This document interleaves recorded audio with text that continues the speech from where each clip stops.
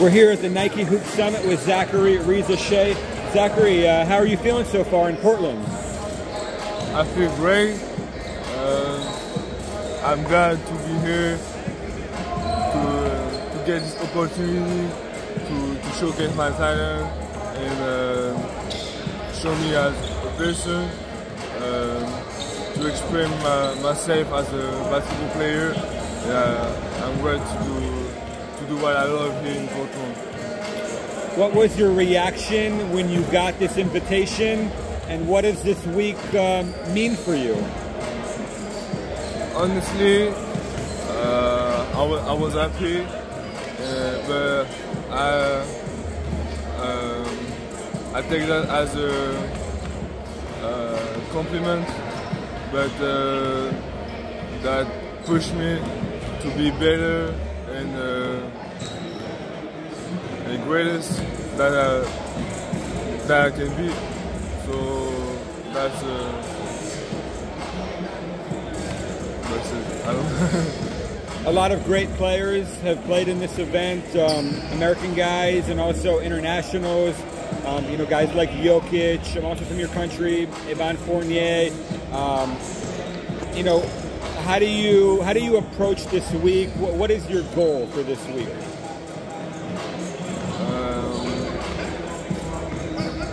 I don't have uh, any goal for this week except uh, uh, win uh, the game to Saturday night and uh, and, sh and show show show me as a uh, as a basketball player as a as a as me. You know what I mean? Like I want to be real uh, uh, and showcase uh, what I can do on the court. Sure. What is your game for people that don't know you? When you're out there in the court playing well, what are some of the things that you're doing out there? I think I can do whatever I want on the court. I think it's my strength uh, when I play basketball. We saw you today making shots, getting a lot of deflections, making some nice passes. Um, you know, you seem to have a lot of versatility to your game. Yeah, I think that my, my strength and uh, um, I I'm trying to to have uh, to get a bit better skill. Uh, I mean. Uh, I uh, always improve. Uh, I uh, always improve uh, my skills, and uh, I think that's the right way to to think. Sure. We saw you today playing pick and roll like a guard, but you know you're almost 6'10". You have the size of you know really like a power forward. What is your true position? Where are you most comfortable? Uh, um, I'm a I'm a three. Uh, I would like to to get lower as a as a two because uh, even if, if I, I'm six nine, uh, I think I got a mindset to PG uh, as a PG. So. Because I, I, like basketball, uh, playmaking, and all stuff uh, that uh, PG can do. So, so that, that's that's why I, I, want to do whatever I want on the court. I mean, uh, I'm six nine. I'm, I'm six nine, but uh, I want to do all the skills that a guy can can have, a PG can, can have. What do you need to do to reach your full potential? What are some of the things you need to improve on? Uh, get lower to um, to have my first step quicker as as a like a like a girl like a real girl because I'm extremely high when I play. I'm trying to, to get lower to to get more explosive uh, as a girl. What's it like to play in the EuroLeague as a 17 year old? That, that's great. That's something that, that I dreamed since since I watched my play, um, my dad play. Uh, um, so since I, I was three, something like that. Uh, so this this is great, and that pushed me to to to improve my, me as a player every day, and uh, I'm glad to to play at this level, so I can learn quickly. How much did it help you, you know, being the uh, being the son of a French national team player, a EuroLeague player, a guy who's you know played really at the highest levels of basketball everywhere? Uh, you know, how did much of that help you?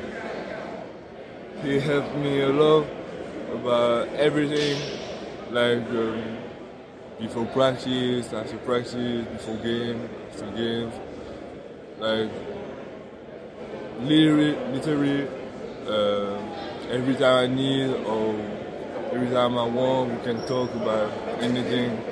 And uh, I mean, basketball in our life is uh, our DNA, so we talk about it like, like we talk about it um, nat- naturally. So there's a lot of things that he told me that I asked him, but I, I can I cannot say what exactly we're talking about because it's like our DNA is naturally the the, the basketball come naturally in our life in uh, our conversation. So. Is that where your basketball IQ comes from? We, you know, watching you play, we see you making a lot of plays off the ball, instinctually, defensively, being in the right spots, you know, getting deflections and steals and, you know, tipping loose balls. And, you know, it's things that you don't usually, usually that's like the weakness of a young player is like defensively off the ball. Has that always been part of your game? Yeah, I think so. I think the, the IQ basketball is um, in my DNA. Like uh, I always be the, that type of that type on uh, of, of a player. I mean, uh, that, that's come naturally to me. Tell me about your family's background. Like where where are they from? You know what. Uh, what any other athletes in your family besides your dad? Uh, no, ju- just my dad play uh, a lot. Uh, he play in Spain uh, when I was born, and uh, after we we went to to, to we went in France, um, and um I started I started to play basketball in France, and uh, like uh, uh, when I was three three years old Gotcha. and uh, my sister, my little sister, uh, started to play uh, right uh, right after me.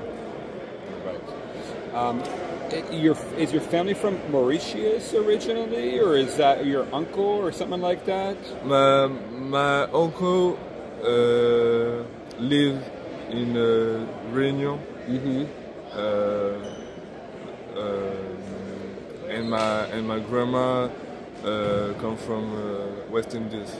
Is that from your mother's side or your father's My, my side? father's side. Okay. Have you ever been back there? No, I've never been. Just one time in the Réunion Yeah. uh, to see my cousin and my uncle. I, loo- I looked at the map. It's like you know, by Madagascar or something Yeah, like that. yeah, right. That's pretty cool, man. Great stuff. Thank you so much. Thank you too.